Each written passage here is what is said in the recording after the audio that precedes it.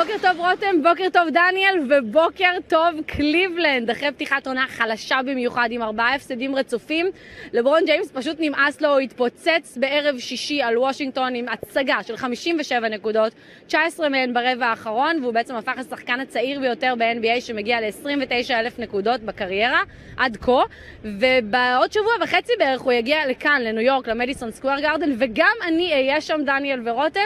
אמ, תראו, אני לא מאמינה שהם יפסידו פעם שנייה לניקס תוך חודש, כי זה לא יהיה נעים לאף אחד בקליבלנד, אבל דברים יכולים לקרות. אז מה עוד היה לנו השבוע? אנדרטייקר חוזר לזירה, זו באמת בשורה אדירה לכל חובבי הז'אנר, ה-WWE. זה יקרה ב-22 אה, בינואר, כאן בניו יורק, והשבוע התפרסמו תמונות עדכניות של האנדרטייקר. תראו איך הוא נראה היום.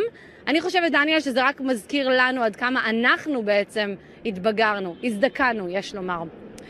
אוקיי, okay, גם ה World uh, Series הגיע לסיומה, היוסטון אסטרוס uh, ניצחו את הלוס אנג'לס דודג'רס 4-3 בסדרה מותחת במיוחד שנגררה לשבעה משחקים, כמובן מותחת למי שאוהב את הענף, את ענף הבייסבול, אבל קבלו איזו מסורת uh, נחמדה יש להם שם בבייסבול. האלופה של השנה שעברה שולחת פיצות לאלופת השנה הנוכחית. זה התחיל ב-2014 עם ה Red Sox מבוסטון ששלחו פיצות לג'יינטס, ועכשיו ה Chicago Cubs שלחו 40 מגשי פיצות ליוסטון, וקצת פוליטיקה.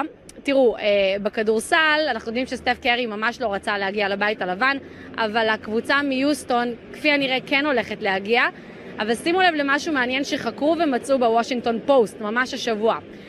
הרבה מאוד קבוצות מארבע הליגות הראשיות כאן של הספורט, כלומר NBA, NFL, ה-MLB וההוקי, עוד אמרו לעיתון שבעבר במשחקי חוץ הם נהגו להתאכסן במלונות של הנשיא טראמפ, ועכשיו הם כבר לא עושים את זה. מעניין, לא? עד כאן ניו יורק.